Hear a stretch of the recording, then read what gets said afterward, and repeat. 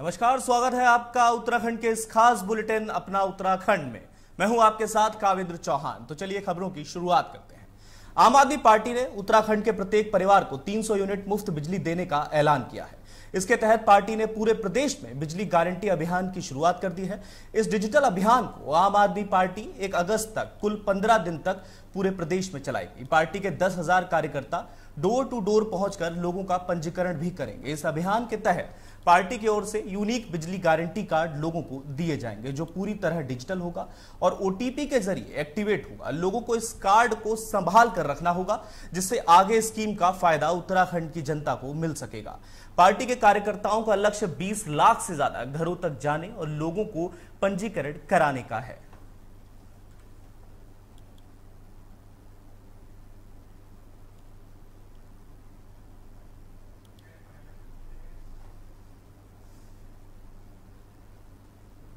Petrol और diesel की बढ़ती कीमतों को लेकर आज कांग्रेस के कार्यकर्ताओं ने हल्द्वानी में अनोखा प्रदर्शन कर महँगाई के खिलाफ आवाज़ उठाई। प्रदर्शन के दौरान कांग्रेस कार्यकर्ताओं ने स्कूटी को रिक्शे पर चढ़ाकर स्कूटी में पेट्रोल की जगह ग्लूकोज की बोतल लगाकर बढ़ती महँगाई और सरकार के खिलाफ नारेबाजी की। महँगाई के खिलाफ प्रदर्शन कर रहे कांग्रेस कार्यकर्ताओं ने आरोप लगाया कि आज जहाँ पेट्रोल के दाम सौ रुपए लीटर हो गए हैं तो दूसरी तरफ़ डीजल के दाम भी दिन प्रतिदिन बढ़ रहे हैं। एक तरफ़ आम जनता महँगाई की मार से त्रस्त है तो दूसरी तरफ़ वाहनों की हालत बिना डीजल पेट्रोल के खस्ता होती जा रही है। इसलिए आज स्कूटी को तेल की जगह ग्लूकोज चढ़ाना पड़ रहा है। कांग्रेसी कार्यकर्ताओं ने स्कूटी को रिक्शे में चढ़ाकर शहर भर में घुमाया। प्रदर्शन कर रहे कांग्रेस कार्यकर्ताओं ने कहा कि केंद्र सरकार तुरंत रसोई गैस और पेट्रोल डीजल की कीमतों को कम करने के लिए कोई ठोस कदम उठाए, नहीं तो आने वाले दिनों में जनता का जीना मुहाल हो जाएगा।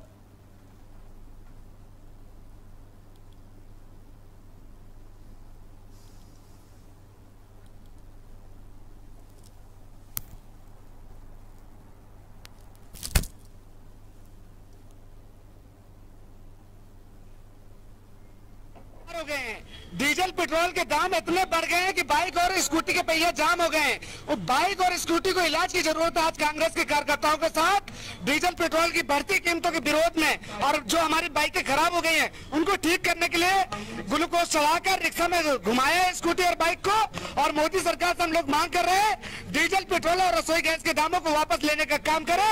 इस महँगाई की वजह से आम जनता का जीना दुश्वार हो गया है। महिलाओं का रसोई का बजट पूरी तरह से बिगड़ गया है। जनता त्राही त्राही कर रही है और मोदी वक्त अच्छे दिन का नारा लगा रहे हैं जिससे देश की जनता के अंदर गुस्सा और आक्रोश पनप रहा है और कांग्रेस पार्टी ईट से ईट बजाने के लिए मैदान में खड़ी है। कोटा मुरादनगर में विवाहिता की हत्या के मामले में मृतक विवाहिता के परिजनों ने शव को हाईवे पर रखकर जाम लगाया और आरोपियों की गिरफ्तारी की मांग की। आपको बता दें, बीते शुक्रवार को कोटा मुरादनगर में महिला के देवर ने महिला की पीट पीट कर हत्या कर दी थी। दौलतपुर निवासी 30 वर्षीय दीपा की शादी तीन साल पहले कोटा मुरादनगर निवासी बिपिन से हुई थी। आपको बता दें, दीपा का दो साल का एक बच्चा है और वह छह माह की गर्भवती थी। दीपा के देवर ने कल दीपा की पीट पीट कर हत्या कर दी थी और उसके दो साल के बच्चे को भी गंभीर रूप से घायल कर दिया था। मृतका के परिजनों ने महिला के पति और ससुराल पक्ष पर दहेज के लिए उत्पीड़न का आरोप लगाया है। पुलिस ने परिजनों की तहरीर पर महिला के पति, सास, ससुर, देवर और ननद के खिलाफ दहेज हत्या की धाराओं में मुकदमा दर्ज कर लिया है और मामले की जाँच शुरू कर दी है। वहीं आज मृतका के शव का सिविल अस्पताल में पोस्टमार्टम किया गया। पोस्टमार्टम के बाद शव को लेकर गाँव पहुँचे परिजनों ने। शव को बहादराबाद, भगवानपुर हाईवे पर रखकर प्रदर्शन किया। परिजनों का आरोप था कि पुलिस मामले में कार्रवाई नहीं कर रही है। परिजनों की मांग थी कि आरोपियों की तुरंत गिरफ्तारी की जाए। वहीं इस दौरान हाईवे पर लंबा जाम लग गया। सूचना पाकर मौके पर पहुँची पुलिस ने जाम खुलवाने का प्रयास किया है। इस दौरान पुलिस और परिजनों के बीच भी तीखी नोक छोंक हो गई।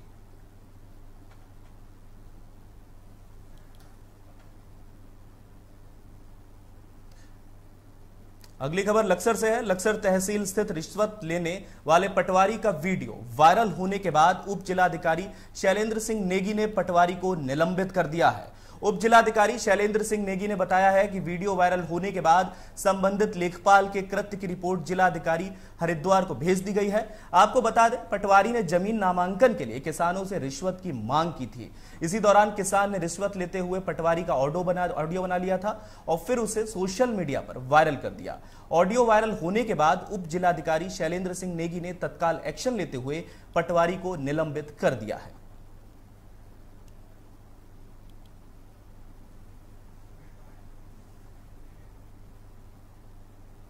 हरिद्वार में गंगा घाटों के आसपास हुड़दंग करने वालों पर पुलिस कप्तान कसने के लिए उन्होंने कमान कस ली है। पुलिस महानिदेशक के निर्देशानुसार चलाए जा रहे अभियान ऑपरेशन मर्यादा के अंतर्गत पुलिस लगातार कार्रवाई कर रही है। इसी क्रम में हरकी पौड़ी के विभिन्न घाटों पर चेतावनी बोर्ड भी लगाए गए हैं, जिन पर लिखा है, गंगा घाटों पर किसी प्रकार के हुड़दंग, नशा व गंदगी न फैलाएँ। इसके साथ ही घाटों पर पुलिस बल भी तैनात कर दिए गए हैं।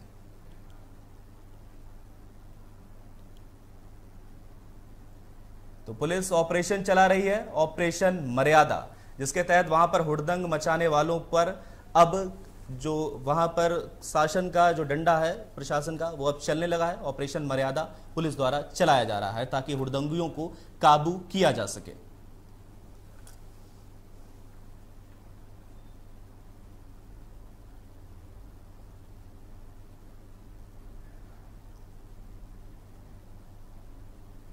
लालकुआ के गोलापार स्थित बागजाला से होते हुए आधा दर्जन गाँवों को जाने वाली सड़क की स्थिति बदतर हो गई है। सड़क पर बड़े बड़े गड्ढे हो गए हैं। इससे आवागमन करने वाले लोगों को खासी परेशानी का सामना करना पड़ रहा है। इस मार्ग से सैकड़ों लोगों को आवागमन करने की मजबूरी है। बारिश के कारण सड़कों पर बने बड़े बड़े गड्ढे दिखाई नहीं देते हैं। इससे आए दिन दुर्घटनाएँ भी होती रहती हैं। करीब छह किलोमीटर लंबी इस सड़क में जगह जगह गड्ढे होने के कारण पैदल चलना भी मुश्किल हो गया है। आवागमन के दृष्टिकोण से अति महत्वपूर्ण माने जाने वाले इस रोड की जर्जर हालत के बागजाला क्षेत्र के लोगों में भारी आक्रोश है।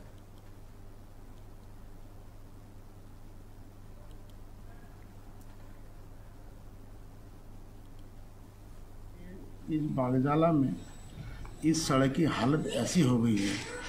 रोड में तक अभी धान की रोपाई का हिसाब बन रहा है।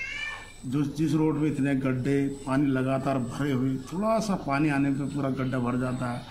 आ, आना आना जाना इतना मुश्किल हो गया इस रोड की हालत बहुत ख़राब हो गई और हमारे माननीय लालबुआ के विधायक नवीन दुमका जी ने इस तरफ़ देखा तक नहीं और सोचा तक नहीं। और यहाँ के ऐसे जनप्रतिनिधि रहे जिनमें हम लोगों ने तो बड़ा बार बार इस बात को उनके अवगत आपके द्वारा आपके माध्यम से और एडीएम के साहब के माध्यम से हमने हर दफ़े इसको जताने की कोशिश करी कि यहाँ भी एक रोड का जाल बिछना चाहिए, यहाँ भी रोड पड़नी चाहिए।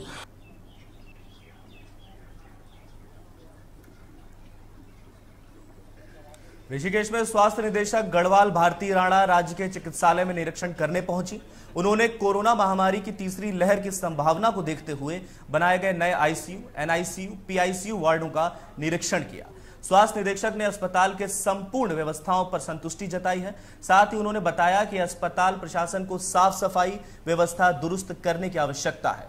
वहीं मीडिया से हुई बातचीत के दौरान स्वास्थ्य निदेशक भारती राणा ने बताया कि अस्पताल में चल रही डॉक्टरों और कर्मचारियों की कमी को भी जल्द से जल्द पूरा किया जाएगा। यहाँ पे स्पेशली मुझे थर्ड वेव की तैयारियाँ देखनी थी क्योंकि अब ऋषिकेश का हमारे देहरादून ज़िले के बाद एक बड़ा अस्पताल है अपने आप में। तो उसी के तहत हमने आज निरीक्षण किया मैंने यहाँ पे। तो हम थर्ड वेव में क्या देखते हैं कि हमने बच्चों के लिए क्या प्रिपरेशन करी है अस्पताल में, वही हमने आज देखा। तो बेसिकली हम लोगों ने देखा हमने कितने बच्चों के लिए बेड्स रखे हैं, आरक्षित किए हैं, जो स्पेशली बच्चों के लिए हैं, और वो ऑक्सीजन सप्लाई वाले बेड हैं। दूसरा हम देखते हैं कि पीआईसीयू जिसमें पेड्रेटिक इंटेंसिव केयर यूनिट होती है, उसकी भी यहाँ पे तैयारियाँ बहुत अच्छी पाई गई। सारे बेड्स आरक्षित हैं। उनमें जो भी उपकरण लगने थे, वो उपकरण स्थापित हैं। एम्स ऋषिकेश में हवा से ऑक्सीजन प्रोड्यूस करने वाला पीएसए ऑक्सीजन प्लांट लगाया जा रहा है। कोरोना की संभावित तीसरी लहर को देखते हुए यह प्लांट कोविड मरीजों के इलाज में बड़ा योगदान देगा। उम्मीद है कि एक महीने के अंदर प्लांट से ऑक्सीजन का उत्पादन होने लगेगा। इसके साथ ही गंभीर किस्म के रोगियों के इलाज हेतु सुविधाओं में इजाफा करते हुए एम्स ऋषिकेश अब स्वयं ही मेडिकल ऑक्सीजन का उत्पादन करेगा। इस सुविधा को शुरू करने के लिए डीआरडीओ की मदद से एम्स में ऑक्सीजन प्लांट लगाया जा रहा है। पीएसए तकनीक आधारित इस प्लांट से प्रति मिनट 1000 लीटर ऑक्सीजन गैस का उत्पादन लिया जाएगा। इस बारे में जानकारी देते हुए ऑक्सीजन प्लांट प्रोजेक्ट के nodal officer doctor Ajay Kumar ने बताया है कि कोरोना संक्रमण की संभावित तीसरी लहर की चुनौतियों से निपटने में यह प्लांट विशेष लाभकारी सिद्ध होगा। अभी तक एम्स में भर्ती मरीजों के इलाज के लिए बाहर से लिक्विड ऑक्सीजन मंगवाकर उसे स्टोर किया जाता था और फिर उसे गैस में परिवर्तित कर पाइपलाइन की मदद से अस्पताल के विभिन्न वार्डों तक पहुँचाया जाता था। डॉक्टर अजय ने बताया है कि प्रधानमंत्री केयर फंड से तैयार हो रहे इस प्लांट से एक महीने में ऑक्सीजन का उत्पादन शुरू हो जाएगा।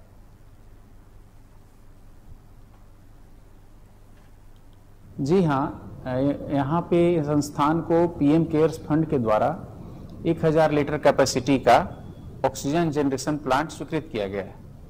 और हमारे निदेशक महोदय ने इस बात को गंभीरता से लिया है कि आगे मरीजों को थर्ड वेव में या कोई भी आपदा है उसमें ऑक्सीजन की कमी ना रह पाए।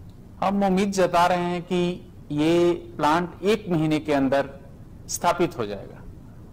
इसके पहले ऑक्सीजन हमें जो सप्लाई करते थे हॉस्पिटल में, वो एलएमओ लिक्विड मेडिकल ऑक्सीजन जो हम बाहर से परचेज करते थे, वो एक स्टोरेज टैंक में रखा जाता है। और वहाँ से फिर वो गैस बन के पूरे हॉस्पिटल में सप्लाई होता है। वो एक रिलायबल सोर्स है। लेकिन इस आपदा में सेकेंड वेव में सप्लायर रेगुलर सप्लाई नहीं कर पा रहा। तो उत्तराखंड से बड़ी खबर निकलकर सामने आ रही है कि उत्तराखंड में बीते 24 घंटे में कोरोना के 32 नए संक्रमित मरीज़ मिले हैं। वहीं एक मरीज़ की मौत हुई है, जबकि छियासठ मरीजों को ठीक होने के बाद घर भेजा गया है। वहीं सक्रिय मामलों की संख्या घटकर छह सौ छप्पन पहुँच गई है। स्वास्थ्य विभाग की ओर से जारी बुलेटिन के अनुसार शनिवार को 24,635 सैंपलों की जाँच रिपोर्ट नेगेटिव आई है। वहीं दो जिलों बागेश्वर और चंपावत में एक भी संक्रमित मरीज़ सामने नहीं आया है। वहीं अल्मोड़ा में एक चमोली में एक देहरादून में पाँच हरिद्वार में पाँच नैनीताल में आठ पौड़ी में एक पिथौरागढ़ में पाँच रुद्रप्रयाग में एक टिहरी में एक उधम सिंह नगर में दो और उत्तरकाशी में दो मामले सामने आए हैं। प्रदेश में अब तक कोरोना के कुल संक्रमित मरीजों की संख्या तीन लाख इकतालीस हज़ार चार सौ तैतीस हो गई है। इनमें से तीन लाख सत्ताईस हज़ार चार सौ बारह लोग ठीक हो चुके हैं। प्रदेश में कोरोना के चलते अब तक कुल सात हज़ार तीन सौ छप्पन लोगों की जान जा चुकी है।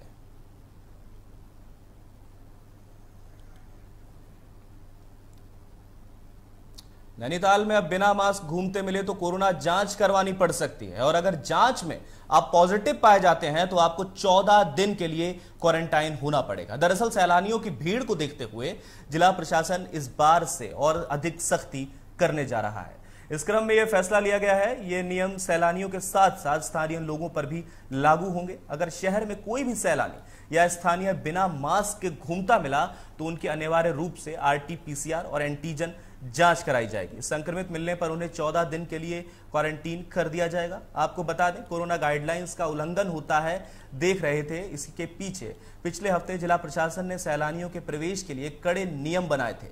इनमें नैनीताल आने के लिए स्मार्ट सिटी पोर्टल में पंजीकरण व निगेटिव कोविड रिपोर्ट की अनिवार्यता के साथ एडवांस में की गई पार्किंग वाले होटलों की बुकिंग शामिल थी। जिला प्रशासन ने सैलानियों के दोपहिया वाहनों से शहर में प्रवेश पर भी पूरी तरह प्रतिबंध लगाया था।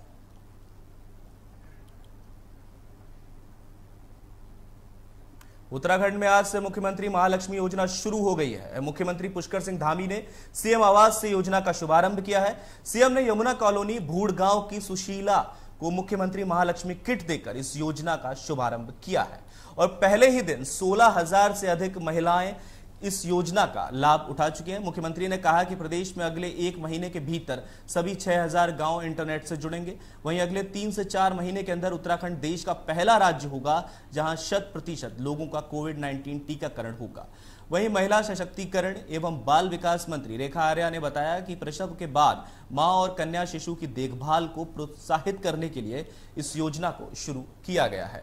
योजना के तहत प्रसव के बाद महिला को प्रथम दो बालिकाओं के जन्म पर एक एक मुख्यमंत्री महालक्ष्मी किट एवं जुड़वा बच्चियों के जन्म पर महिला एवं बच्चों को अलग अलग किट दिए जाएँगे।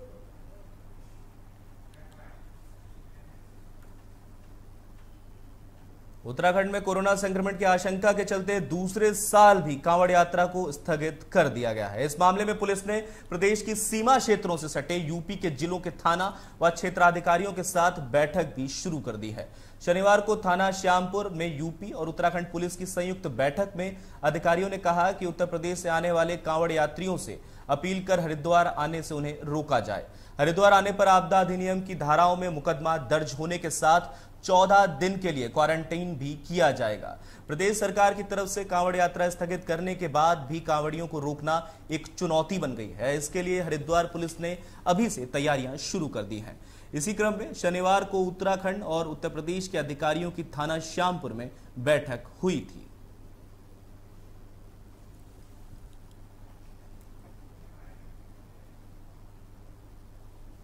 उत्तराखंड में साहसिक पर्यटन को रफ्तार देने के लिए सरकार का पूरा फोकस ट्रैकिंग क्लस्टर को बढ़ावा देने पर है। उत्तरकाशी ज़िले के हरकी दून को प्रदेश का पहला ट्रैकिंग क्लस्टर बनाया जाएगा। इसके लिए अंगोड़ा गाँव में पर्यटन विभाग ने ज़मीन भी चिन्हित कर ली है। दो महीने में यह क्लस्टर बनकर तैयार हो जाएगा। प्रदेश में साल भर पर्यटन को संचालित करने के लिए नए साहसिक पर्यटन स्थल बनाए जा रहे हैं, जहाँ पर साहसिक पर्यटकों को सभी सुविधाएँ उपलब्ध कराई जाएँगी। इसके लिए ट्रेकिंग क्लस्टर को बढ़ावा दिया जा रहा है। प्रदेश में विभिन्न विभागों और गढ़वाल मंडल विकास निगम की खाली पड़ी संपत्ति का इस्तेमाल कर उसे ट्रेकरों की सुविधा के लिए विकसित किया जाएगा।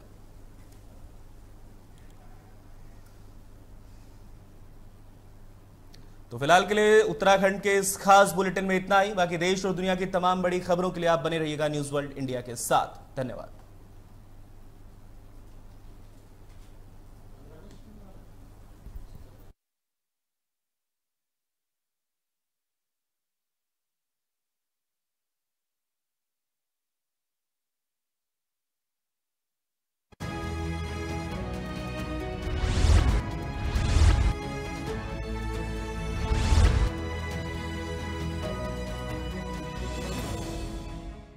नमस्कार, आप देख रहे हैं न्यूज़ वन इंडिया आपके साथ मैं हूँ काजोल नारायण। बहुत स्वागत है आपका साथ की बात में। साथ की बात में आज की बड़ी खबरों का रुख करेंगे। उससे पहले सात तस्वीरें आप प्रेजेंट स्क्रीन पर देख सकते हैं। ये वो तस्वीरें हैं जिन्होंने आपकी ज़िंदगी में असर डाला है। तो चलिए, पहली खबर का रुख करेंगे। देश में रोज़ाना कई मामले सामने आते हैं। कुछ ऐसे होते हैं जो बेहद दर्दनाक होते हैं। और कुछ ऐसे होते हैं जिनमें लापरवाही तो अधिकारियों की होती है, लेकिन इसका खामियाजा आम जनता को अपनी जान देकर चुकाना पड़ता है। कुछ ऐसा ही हुआ मध्य प्रदेश के विदिशा में, जिस पर पीएम मोदी ने भी दुख व्यक्त किया है। मध्य प्रदेश के विदिशा ज़िले के गंजबाज सौदा इलाके में गुरुवार को कुएँ से एक लड़के को निकालने की कोशिश के दौरान अंदर गिरे 19 लोगों को सुरक्षित बाहर निकाल लिया गया और 11 लोगों के शव अब तक बरामद किए जा चुके हैं। खबरों की माने तो शुक्रवार देर रात राज्य के चिकित्सा शिक्षा मंत्री विश्वास सारंग के हवाले से कहा गया कि लड़के का शव कुएँ से निकाला जाने वाला आखिरी शव था। ज़िले के प्रभारी मंत्री सारंग ने कहा है कि बचाव अभियान खत्म हो गया है। प्रधानमंत्री नरेंद्र मोदी ने शुक्रवार को कुएँ में गिरने से मरने वाले लोगों के परिवारों के प्रति संवेदना व्यक्त की और परिवारों के लिए दो लाख रुपए की अनुग्रह राशि की भी घोषणा कर दी है। उन्होंने कहा है कि मध्य प्रदेश के विदिशा में हुए हादसे से दुखी हूँ। शोक संवेदना परिवारों के प्रति है। वहीं पीएमओ से हादसे में जान गंवाने वाले लोगों के परिजनों को दो दो लाख रुपए की अनुग्रह राशि की घोषणा भी की गई है। हादसा कैसे हुआ, ये आपको बताते हैं। दरअसल, पुलिस के मुताबिक इलाके के लाल पात्रा गाँव में 10 साल का बच्चा कुएँ से गिर गया। इसके बाद कुछ लोग उसे बचाने के लिए कुएँ में उतरे, जबकि कई लोग इसकी मदद करने लगे। और माजरा देखने के लिए, जैसा कि हमेशा होता है कि कुएँ के मुंडेर पर लोग इकट्ठा हो गए, लेकिन उन्हें नहीं पता था कि वहाँ उनकी मौत इंतज़ार कर रही है। इसके बाद कुएँ की मुंडेर अचानक ढह गई और उस पर खड़े लोग कुएँ के पानी में गिर गए। कुआँ लगभग 40 फीट गहरा था। पानी निकालने के लिए इस्तेमाल किया जा रहा, ट्रैक्टर भी कुएँ में गिर गया। वहीं मुख्यमंत्री शिवराज सिंह चौहान ने मामले की उच्च स्तरीय जाँच के आदेश दिए हैं और दुर्घटना में मारे गए लोगों के परिजनों को पाँच लाख रुपए और घायलों को पचास पचास हज़ार रुपए की अनुग्रह राशि देने की घोषणा की है। और आगे बढ़ते रुक करेंगे हमारी दूसरी खबर का, जो कि अमेरिका और भारत की दोस्ती पर बनी हुई है। दरअसल अमेरिका और भारत की दोस्ती लगातार बढ़ रही है। इसका हाल ही में एक उदाहरण देखने को मिला है। जी हाँ, अमेरिकी नौसेना ने भारतीय नौसेना को पहले दो M H 60 R multi role helicopter सौंप दिए हैं, जिससे दोनों की सैन्य ताकत में इजाफा होगा। जानिए क्या है इस डील की ताकत। अमेरिकी नौसेना ने भारतीय नौसेना को पहले दो M H six zero seven multi role helicopter सौंपे हैं। भारतीय नौसेना लोकडी मार्टिन द्वारा निर्मित 24 हेलीकॉप्टरों को अमेरिकी सरकार से 2.4 बिलियन अमेरिकी डॉलर की अनुमति, लागत से फॉरेन मिलिट्री सेल्स के तहत खरीद रही है। Naval air station north island, San Diego में शुक्रवार को एक समारोह आयोजित किया गया था, जिसमें अमेरिकी नौसेना से भारतीय नौसेना में हेलीकॉप्टरों के औपचारिक ट्रांसफ़र को मार्क किया गया था। इस समारोह में भारत के राजदूत रणजीत सिंह सिद्धू ने भाग लिया। इस समारोह में vice admiral Kenneth Whitesell commander naval air forces US navy और vice admiral Navreet Singh, deputy chief of naval staff के बीच दस्तावेजों को लेकर प्रक्रिया पूरी की गई। कार्यक्रम में अमेरिकी नौसेना और लॉकडी मार्टिन कॉरपोरेशन का वरिष्ठ नेतृत्व भी मौजूद रहा। हर मौसम में कारगर है मल्टी रोल हेलीकॉप्टर। भारतीय राजदूत ने कहा है कि हर मौसम में काम करने वाली मल्टी रोल हेलीकॉप्टर्स को शामिल करना भारत अमेरिका के बीच बने द्विपक्षीय रक्षा संबंधों के लिए एक महत्वपूर्ण मील का पत्थर साबित होने जा रहा है। भारतीय राजदूत रणजीत सिंह सिद्धू ने कहा कि भारत अमेरिका की दोस्ती आसमान को छू रही है। आगे वो कहते हैं कि कुछ वर्षों में द्विपक्षीय रक्षा व्यापार बढ़कर 20 अरब डॉलर से अधिक हो गया है। उन्होंने कहा कि रक्षा व्यापार से आगे बढ़ते हुए भारत और अमेरिका रक्षा प्लेटफॉर्मों के को प्रोडक्शन और को डेवलपमेंटर पर भी साथ काम कर रहे हैं। अत्याधुनिक है helicopter M H six zero R. M H six zero R helicopter एक ऑल वेदर हेलीकॉप्टर है, जिसे अत्याधुनिक एवियोनिस्टिक के साथ कई मिशन में इस्तेमाल करने के लिए खास तौर पर डिज़ाइन किया गया है। इन चॉपर्स को शामिल करने से भारतीय नौसेना की त्रिकोणीय क्षमताएँ बढ़ेंगी। इन हेलीकॉप्टर्स को भी कई मॉडिफाइड उपकरणों और हथियारों के साथ लेस किया जाएगा। कई स्तरों पर बढ़ेगी नौसेना की ताकत। भारतीय नौसेना का पहला जत्था इस समय अमेरिका में प्रशिक्षण ले रहा है। रक्षा विभाग के मुताबिक प्रस्तावित बिक्री भारत को एंटी सरफेस और एंटी सबमरीन युद्ध अभियानों की दीक्षा में मज़बूत करेगा।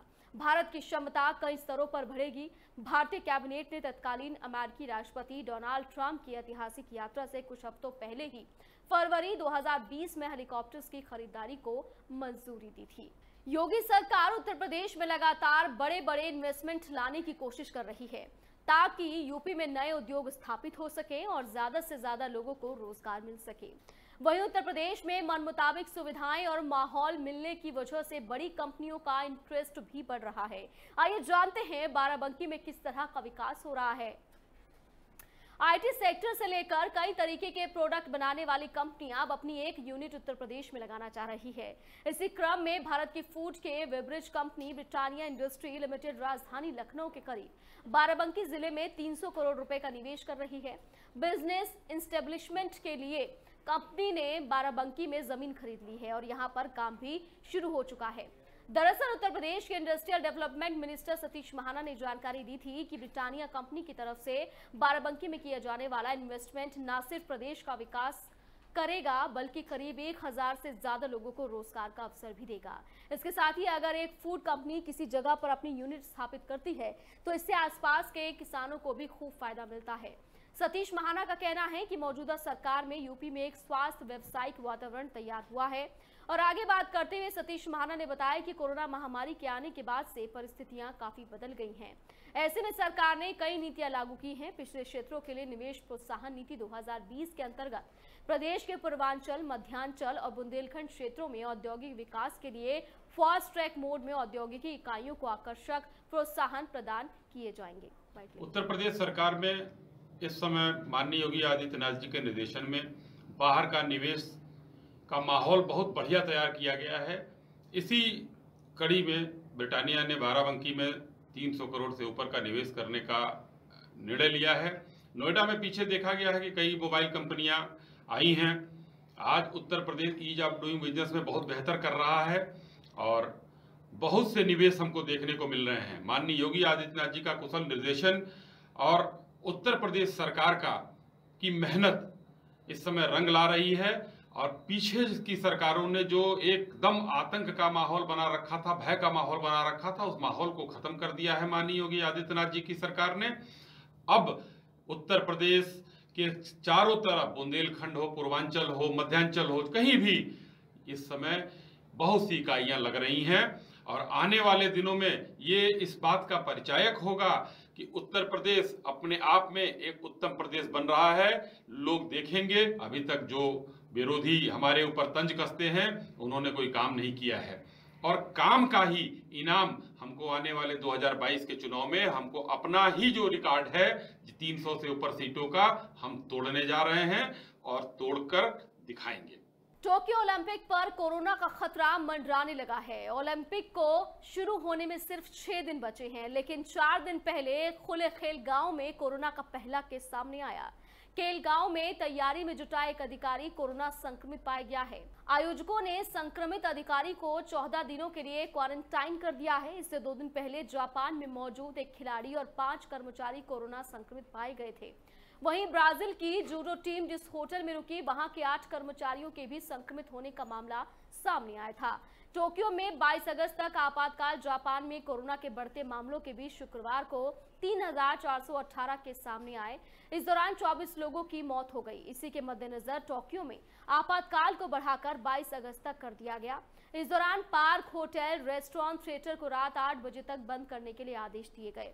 ओलंपिक में खुद गले में डालना होगा मेडल और ओलंपिक में हिस्सा लेने वाले हर एथलीट का ये सपना होता है मेडल जीतना।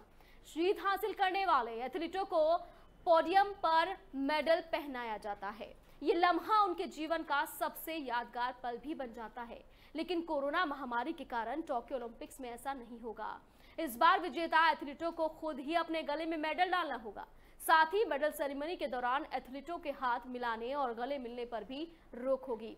ओलंपिक्स में दर्शकों की एंट्री पर भी रोक है।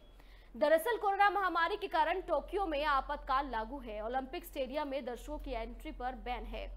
पहले कहा गया था कि स्टेडियम में 50 प्रतिशत क्षमता के साथ लोगों को एंट्री दी जा सकती है। लेकिन कोरोना के बढ़ते मामलों को देखते हुए एंट्री पर बैन लगा दिया गया है।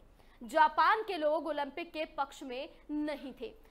जानकार बताते हैं कि जापान, विशेषकर टोक्यो के निवासी कोरोना काल में ओलंपिक आयोजन के पक्ष में नहीं है। अधिकांश सर्वे में 60 से 70 प्रतिशत लोगों ने कहा है कि अभी ओलंपिक को टाल देना बेहतर होगा। मार्च में शुरू हुई ओलंपिक टॉर्च रिले को भी कई शहरों में विरोध प्रदर्शन का सामना करना पड़ा था। एक शहर में तो मशाल बुझाने की कोशिश भी हुई थी। हालाँकि जापान की सरकार ने आयोजन जारी रखने का फैसला किया है। राष्ट्रीय स्वसेवक संघ चीफ मोहन भागवत का कहना है कि हर भारतीय का डीएनए एक है। आपको याद होगा, कुछ दिन पहले ही ये बयान मोहन भागवत ने दिया था, जिस पर राजनीति काफ़ी ज़्यादा गर्मा गई थी। हम किसी भी धर्म को मानते हो, पर हमारे डीएनए में कोई भी फ़र्क नहीं है। इसलिए हिंदू, मुस्लिम, एकजुटता जैसी बातों का कोई आशय नहीं है। लेकिन उनके इस बयान के मतलब बड़े हैं। उन्होंने ये बयान उत्तर प्रदेश के गाजियाबाद में दिया राजनीतिक पंडितों का कहना है कि यूपी चुनाव की तैयारियाँ शुरू हो चुकी हैं। वहाँ पहले से धर्मांतरण, दो चाइल्ड पॉलिसी जैसे मुद्दों पर लोग दो हिस्सों में बंटकर बहस कर रहे हैं। और अब डीएनए ये चर्चा और ज़ोर पकड़े, इससे पहले ये जानना ज़रूरी है कि मोहन भागवत के दावे में सच्चाई कितनी है। क्या हमारे माँ बाप खानदान से आता है डीएनए ये पहला सवाल है। डीएनए यानी आपके शरीर की कोडिंग आपकी हाइट कितनी बढ़ेगी, आपकी नाक कितनी लंबी होगी और आप सोचेंगे कैसे? ये सब कुछ डीएनए की कोडिंग से ही तय होता है। हमारा शरीर 200 तरह की कोशिकाओं से बना हुआ है। ये डीएनए उसी के अंदर केमिकल से बने महीन किस्म के बुने हुए धागों की तरह होता है। ये हमारे भीतर, हमारे माँ बाप के ज़रिए आता है। इसमें दो खास बातें हैं। पहली, क्रोमोसोम ये केवल हमारे माता पिता से मिलती है, लेकिन हमारे डीएनए के जीन्स चाचा, नाना, ताऊ, दादा, यानी माँ और बाप दोनों के खानदानों में से किसी के भी जीन्स से मेल खा सकते हैं। ये भी मुमकिन है कि हमारे पिता, दादा या परदादा किसी के भी बाल ना झड़ते रहे हों, लेकिन हमारे बाल झड़े। ऐसा इसलिए कि बाल झड़ने वाले जीन्स तीन पीढ़ियों तक एक्टिव ना रहे हों और वो चौथी पीढ़ी में एक्टिव हो गए हों। भारतीयों की नस्ल में क्या है कई तरह के डीएनए ये दूसरा सवाल है। साइंस की एक थ्योरी कहती है कि एक ही शख्स के डीएनए में दो अलग अलग पीढ़ियों के जीन्स आ सकते हैं। इससे ये बात साबित हो जाती है कि हम भारतीयों के डीएनए में पश्चिमी देशों के जीन्स आने के आसार बहुत ज़्यादा हैं, क्योंकि पुर्तगाल, फ्रांस, यूके, ग्रीस के लोग लंबे समय तक भारत में रहे और हमारे यहाँ की महिलाओं से शादी की बच्चे पैदा किए। यहाँ तक कि जब देश आज़ाद हुआ तो संसद में एंग्लो इंडियंस के लिए अलग से दो सीटें रिज़र्व कर दी गई थी। एग्लो इंडियन यानी भारतीय महिलाओं से पैदा होने वाले अंग्रेज़ों के बच्चे या फिर ब्रिटिश महिलाओं से पैदा हुए भारतीयों के बच्चे। इनके डीएनए में भारत और पश्चिम देश दोनों के जीन्स हैं। वहीं अब फिर बात करें मोहन भागवत की तो मोहन भागवत का कहना है कि हमारा डीएनए एक ही है, ये पूरा सच नहीं है। लेकिन जिस आधार पर वो ये बात कह रहे हैं, वो आपको बता देते हैं। असल में हरियाणा के राखीगढ़ में खुदाई में कुछ कंकाल मिले थे। हार्डवर्ड बोस्टन, लखनऊ यूनिवर्सिटी और डेकन कॉलेज के 30 इतिहासकार इस पर रिसर्च कर रहे थे। डेकन कॉलेज के पूर्व प्रमुख डॉक्टर वसंत शिंदे टीम का नेतृत्व कर रहे थे। इन्होंने 2019 में स्टडी पब्लिश की और दावा किया कि आर्य बाहर से नहीं आए थे, बल्कि 8000 साल से यहीं थे, क्योंकि जिस कंकाल पर स्टडी की गई, वो हड़प्पा सभ्यता के लोग के थे। हड़प्पा सभ्यता में रहने वाले आर्यों ने ही वेद उपनिषेद रचे। यही लोग पूरे साउथ एशिया में फैले। इनके डीएनए एक ही हैं। पूरे साउथ एशिया के डीएनए एक ही कहने का मतलब है कि अफ़गानिस्तान से लेकर पाकिस्तान, नेपाल, भूटान, भारत, बांग्लादेश, श्रीलंका और मालदीव के हर शख्स का डीएनए एक ही है। इस रिपोर्ट के बाद सुप्रीम कोर्ट में अयोध्या मामले की सुनवाई के दौरान हिंदू पक्ष के वकील के पाराशरण ने दलील दी कि आर्य भारत के मूल निवासी हैं। रामायण में सीता श्री राम को आर्य कहकर बुलाती थी। ऐसे में वो बाहरी कैसे हो सकते हैं? यानी ये साबित हो जाता है कि हर भारतीय में एक ही वंश के जींस हैं। या फिर कह लीजिए कि सबके डीएनए एक है। आर्यों के बाद हमारे देश में ग्रीक, मंगोल, मुस्लिम, पारसी, पुर्तगाली, फ्रांसीसी और ब्रिटिश भी आए। सभी ने हमारे यहाँ की महिलाओं से शादी की, बच्चे पैदा किए, जिसके चलते देश में आज सैकड़ों किस्म की नस्लें यानी डीएनए मौजूद हैं। नरेंद्र मोदी सरकार 2015 में ह्यूमन डीएनए प्रोफाइलिंग विधेयक लाने वाली थी। आपको याद होगा, अगर आपने ये खबरें पढ़ी होंगी। अगर ये विधेयक संसद में पास हो गया होता तो आज डीएनए वाला पूरा झगड़ा ही खत्म हो गया होता, क्योंकि इस बिल के पास होने के बाद हम सभी के डीएनए चेक हो चुके होते, लेकिन वो तैयारी पूरी नहीं हो सकी। तो अब डीएनए को चुनावी मुद्दा बनाती है राजनीतिक पार्टियाँ। सबसे बड़ा मुद्दा यही है। हमें चर्चा ज़रूर कर लेनी चाहिए कि डीएनए जैसे विशुद्ध वैज्ञानिक और ऐतिहासिक बात को बार बार राजनीतिक हस्तियाँ क्यों छोड़ देती हैं? वो भी तब जब चुनाव सिर पर होते हैं या फिर डेकन कॉलेज पुणे की स्टडी 2019 में क्यों आई जब देश में लोकसभा चुनाव होते हैं? इसके लिए हमें पीएम मोदी और नीतीश कुमार की छह साल पुरानी एक दास्ता कहानी याद करनी होगी। साल 2015 था। नीतीश कुमार फटाफट बिहारियों के बाल नाखून थूक खून इकट्ठा कर रहे थे। उन्होंने 50 लाख बिहारी लोगों के सैंपल लेकर पीएमओ भिजवा दिया और कहा था, लीजिए मोदी जी, करा लीजिए हमारा डीएनए चेक। मामला दरअसल ये था कि 2014 के लोकसभा चुनाव के वक्त जब बीजेपी ने नरेंद्र मोदी को पीएम पद का उम्मीदवार बनाया था, तब नीतीश डीएन, तब नीतीश एनडीए छोड़ गए। 2015 में जब बिहार विधानसभा चुनाव आए तो वो लालू के साथ चले गए। इसी बात पर पीएम मोदी 21 अगस्त 2015 को मुजफ्फरपुर की एक रैली में बोले, शायद उनके, यानी नीतीश के डीएनए में ही गड़बड़ है। पीएम मोदी के मुँह से डीएनए निकला तो नीतीश समझ गए बिहारियों को एक करने का मौका मिल गया है। पलटवार करते हुए नीतीश बोले कि मोदी ने बिहार के डीएनए पर उंगली उठाई है, जिनके पूर्वजों का देश की आज़ादी की लड़ाई में कोई योगदान नहीं था। वो हमारे डीएनए पर उंगली उठा रहे हैं फिर चुनाव तक ये अहम मुद्दा बना रहा। अब यूपी चुनाव से पहले मोहन भागवत को डीएनए की याद आई है। अगर विज्ञान की माने तब तो मोहन भागवत की बातों में सच्चाई नहीं है, लेकिन ट्रेंड यही करता है कि अब हमें कई लोग हमारा डीएनए बताएँगे। ये हमारे ऊपर है कि हम किसकी सुने। तो आज ये बताना ज़रूरी था क्योंकि डीएनए को लेकर लगातार लड़ाइयाँ बढ़ती हुई जा रही हैं। ये आपकी, हमारी नहीं, बल्कि राजनीतिक पार्टियों की। हिंदू, मुसलमान, एकता, हमारा तो विचार ऐसा है कि ये शब्द ही बड़ा भ्रामक है। ये दो है ही नहीं, एकता की बात क्या है? इनको जोड़ना क्या? ये जुड़े हुए हैं। ये जुड़े हुए हैं और ये जब मानने लगते हैं कि हम जुड़े हुए नहीं हैं, तब दोनों संकट में पड़ जाते हैं। हम समान पूर्वजों के वंशज हैं। ये विज्ञान से भी सिद्ध हो चुका है। चालीस हज़ार साल पूर्व से हम भारत के सब लोगों का डीएनए सब लोगों का, निरपवाह डीएनए समान अफ़गानिस्तान में नब्बे का दशक ऐसा था कि वहाँ तालिबान की तूती बोलती थी। लेकिन 1911 के हमलों के बाद अमेरिका ने ओसामा की तलाश में जब अफ़गानिस्तान में हमला किया, तब तालिबान की सल्तनत को भी उखाड़ फेंका। आज इस पर इसलिए बात हो रही है क्योंकि फ़िलहाल जो ताज़ा मुद्दा है, जो कि वैश्विक स्तर पर उठाया गया है, वो अफ़गानिस्तान और तालिबानी आतंकियों का है। पिछले 20 सालों से अमेरिकी सैनिक तालिबान को तबाह करने के लिए अफ़गानिस्तान में ही डटे हुए थे। दुनिया ने सोचा था कि वहाँ अमेरिका की मौजूदगी तालिबान को तबाह कर देगी। लेकिन अरबों डॉलर बर्बाद करने और अपनों ही हज़ार सैनिकों की मौत के बाद अमेरिकी सैनिक वापस लौट रहे हैं और इसी के साथ अफ़गानिस्तान में लौट रहे हैं तालिबानी आतंकी, जिनके लिए अब काबुल भी दूर नहीं है। जिसका डर था, वही हो रहा है। अफ़गानिस्तान से अमेरिकी सेना के रुखसत होते ही तालिबान का कोहराम शुरू हो चुका है। हर तरफ़ गोलियों की तड़तड़ाहट, लूटमार, कब्जा जारी है। जगह जगह अफगान आर्मी तालिबानी लड़ाकों से सामने सरेंडर करने को मजबूर कर रही है। अब तक देश के पिचासी फ़ीसदी से ज़्यादा हिस्से पर तालिबानी लड़ाके अपना कब्जा जमा चुके हैं और वो लगातार कॉम्बिंग करते हुए काबुल की तरफ़ बढ़ रहे हैं। हालाँकि इसका अंदेशा तो पहले से ही था क्योंकि अमेरिकी सेना की मौजूदगी की वजह से अफगान सेना कभी खुद को इतना मज़बूत बना ही नहीं पाई कि वो हथियारों और रणनीति के मामले में हाईटेक हो चुके तालिबान का मुकाबला कर सके। ये तो होना ही था, मगर अब आगे आगे जो होगा, उससे तमाम मध्य एशियाई देश फिक्रमंद हैं। ऐसा माना जा रहा है कि तालिबान के स्कूली खेल के पीछे पाकिस्तान का हाथ है, जो पिछले कई सालों से अमेरिकी फौज से अफ़गानिस्तान से वापसी का इंतज़ार कर रहा था। क्योंकि उसे डर था कि जिस तरह अफगान सरकार भारत के साथ अपने रिश्ते बनाता जा रहा है, उससे आने वाले वक्त में उसके लिए खतरा बढ़ सकता है। मगर जो बाइडन के फैसले के बाद पाकिस्तान की बाछे खिल गई हैं और उसने तालिबान को अपने पूरी तरह से अफगान पर कब्जा जमाने के लिए समर्थन देना शुरू कर दिया है। ऐसे में तालिबान का सिर उठाना तो लाजमी ही था। और हुआ भी यही, अमेरिका के जवानों की घर वापसी के साथ तालिबान ने तेज़ी से अफ़गानिस्तान पर कब्जा जमाने की रणनीति पर काम करना शुरू कर दिया। ज़ाहिर है, पाकिस्तान की नीति और नीयत आतंकवाद को समर्थन करती है। यही वजह है कि पाकिस्तान के हक्कानी आतंकियों ने तालिबानियों से हाथ मिला लिया।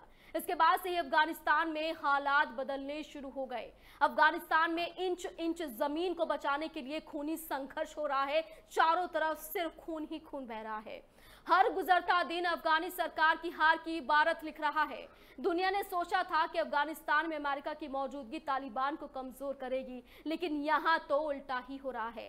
तालिबान कमज़ोर होने के बजाय पूरी ताकत से उभरकर सामने आ रहा है। तालिबान का एक खूनी खेल तब तक चल रहा है जब अमेरिकी सेना अभी पूरी तरह से अफ़गानिस्तान से वापस नहीं हुई है।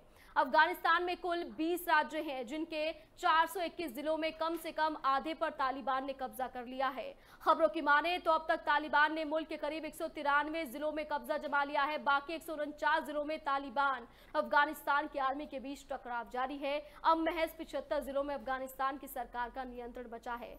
इस वक्त भी तालिबान के कई शहरों में युद्ध चल रहा है, कई इलाकों में बमबारी हो रही है। बदलते हालात में अपनी जान बचाने के लिए अफगान के लोग दूसरे देशों में शरणार्थी बनने को मजबूर हैं। तालिबान की तरफ़ से यह भी दावा किया जा रहा है कि बहुत जल्द उसका काबुल पर कब्जा हो जाएगा। तालिबान की एक खूबी रही है कि अपने मकसद में कामयाब होने के लिए किसी भी हद तक चला जाता है। यहाँ भी उसने अब आम लोगों को अपना ढाल बनाना शुरू कर दिया है। शहर में घुसकर लोगों के घरों पर कब्जा किया जा रहा है। ज़ाहिर है, ऐसे हालात में आतंकियों से निपटना मुश्किल हो रहा है। तालिबान का अगला प्लान अफगान के बड़े शहरों पर जल्द से जल्द कब्जा जमाने का है। ऐतिहासिक गजनी शहर को तालिबान ने घेर लिया। गजनी वो इलाका है जहाँ से काबुल और कंधार का अहम रास्ता गुजरता है। कंधार से आपको याद आया होगा कि भारतीय पत्रकार की कंधार में ही हत्या हुई है। यानी तालिबानियों के लिए अब कंधार दूर नहीं, भारत का भारी भरकम निवेश अच्छे भले पटरी पर वापस आते अफ़गानिस्तान को अमेरिका के फैसले ने सड़क पर ला दिया। यहाँ फिर से नब्बे के दशक के हालात पैदा हो गए हैं, फिर वही खौफ नज़र आ रहा है। अफ़गानिस्तान में तालिबान की वापसी यकीनन पड़ोसी मुल्कों के लिए चिंता का सबब है, खासकर भारत के लिए, क्योंकि बीते दो दशकों के दौरान हिंदुस्तान ने अफगान में भारी भरकम निवेश किया है। निवेश के अलावा भारत अफ़गानिस्तान के रिश्तों को भी नए आयाम मिले, लेकिन अब हालात बदल चुके हैं। अफगान में बदलते हालात भारत के लिए भी किसी चुनौती से कम नहीं है। मुख्यमंत्री पुष्कर सिंह धामी ने सीएम कैंप कार्यालय में आयोजित कार्यक्रम में मुख्यमंत्री महालक्ष्मी योजना का शुभारंभ किया है। मुख्यमंत्री पुष्कर सिंह धामी और महिला सशक्तिकरण एवं बाल विकास मंत्री रेखा आर्य ने लाभार्थी महिलाओं को महालक्ष्मी किट का वितरण किया। मुख्यमंत्री ने चयनित लाभार्थी माताओं और नवजात शिशुओं को महालक्ष्मी किट वितरित किए हैं। पूरे राज्य में समस्त जनपदों के कुल सोलह से ज़्यादा लाभार्थियों को लाभान्वित किया गया है।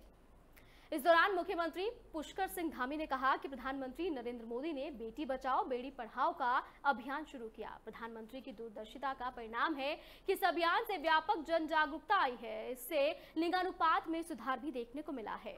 मुख्यमंत्री आगे कहते हैं कि हम अपने आसपास देखें तो पाएँगे कि बेटों की बजाय बेटियाँ माता पिता का ज़्यादा ख्याल रखती हैं। आजीवन का कोई भी क्षेत्र ऐसा नहीं है जहाँ बेटियों ने सफलता ना पाई हो। वहीं नंदा गौरा देवी कन्या धन योजना बेटियों को प्रोत्साहित करने की महत्वपूर्ण योजना भी है। मुख्यमंत्री वात्सल्य योजना भी शुरू की गई है। जो हमारी बालिकाएँ पैदा हो रही हैं, उन बालिका पैदा होने वाली बालिकाओं के लिए ये मुख्यमंत्री महालक्ष्मी योजना प्रारंभ की गई है। इसमें पहले चरण में आज के दिन जो है सोलह लोगों को इससे आच्छादित किया गया है, उनको लाभान्वित किया गया है और पूरे वर्ष में पचास हज़ार से भी अधिक लोगों को इसका लाभ मिलेगा। ये योजना निश्चित रूप से ऐसे लोग जिनको, जो ज़रूरतमंद है, जिनकी आवश्यकता है, उनके लिए ये योजना लॉन्च की गई है और आने वाले समय में ये पचास हज़ार तक जो है लोगों को लाभान्वित करेगी। वहीं कैबिनेट मंत्री रेखा आर्य ने कहा है कि हमें बेटियों को आगे बढ़ाने के लिए दोहरी मानसिकता को खत्म करना है। प्रकृति और संविधान ने समानता का संदेश दिया है, इसलिए बेटियों को प्रोत्साहित करना ज़रूरी है। महिला पुरुष का समाज में समान महत्व है, भेदभाव की सोच को समाप्त करना है। आप एक एक करके आपको भेजिए और तैयारी कीजिए प्रॉपर तरीके से फोटोग्राफ भी हो सके। और पहली प्राथमिकता बच्ची जिसके साथ उसको पहली प्राथमिकता जिसके पास बच्ची हो उसको भेजो पहले